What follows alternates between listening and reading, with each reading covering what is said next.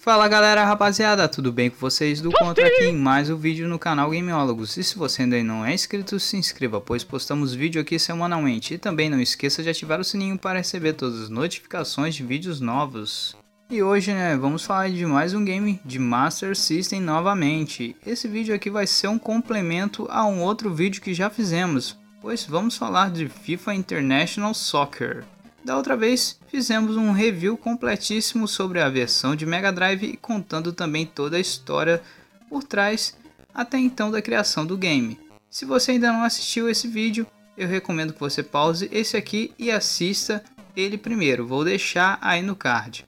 A versão do FIFA International Soccer que eu vou falar hoje é a versão do Master System. Muita gente não sabe, mas essa versão foi lançada oficialmente apenas do Brasil. Mais um daqueles potes marotos da Tectoy. Então roda essa vinheta e vamos pro vídeo.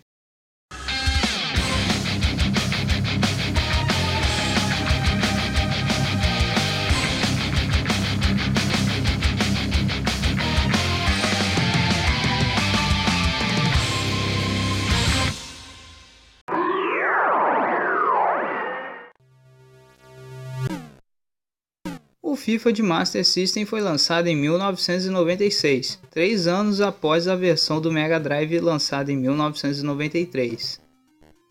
O legal dessa versão é que você pode colocar os menus em português. Esse porte da versão de Master foi feito pela TireTex. O legal é que era estampado na luva, na contracapa da luva do cartucho, a seguinte mensagem: O melhor do futebol internacional. Quem poderia participar da criação de um cartucho realmente fiel ao esporte mais praticado no mundo? Com certeza quem entende muito de futebol e dita as regras do jogo para todos os países, a FIFA. Agora você poderá sentir as emoções do Campeonato Mundial, com mais de 50 seleções jogando entre si em estádios lotados e com a torcida gritando para valer a melhor qualidade de animações, já feitas em um cartucho de esportes para o Master System. Textos em português. Escolha a melhor estratégia, a colocação dos jogadores e os esquemas de ataque. Você também é o técnico. Bicicletas, mergulhos de cabeça, passes de calcanhar e tudo aquilo que só os craques conseguem fazer. Marcação dura, roubadas de bola e incríveis carrinhos.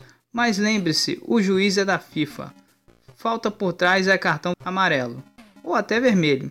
Agora é só calçar as chuteiras, driblar os adversários, completar de primeira e correr pra galera. É gol!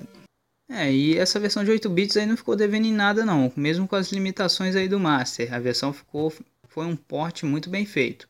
E claro, tem as opções aí de prática, que é amistoso, tournament, que é campeonato, playoff, que são as finais, League, que seria a liga, né? Formato liga. Tem a opção aí de carregar também, que quando você tem um save game, né? Você poderia carregar um cartucho aí que tem bateria para o Master System. E tem os options, né? Que você poderia fazer as, as alterações conforme o gosto. E essa versão de Master System eu achei bem competente. Até a jogabilidade eu achei interessante, mesmo se tratando apenas de dois botões. Para driblar, você tem que manter o botão direcional apertado e também o botão 1 é, apertado de forma rápida. Para correr mais rápido, você tem que apertar o botão 1 rapidamente e pressionar o botão 2. Para você tocar a bola, você tem que apertar o botão 1 uma vez para tocar para o companheiro mais próximo.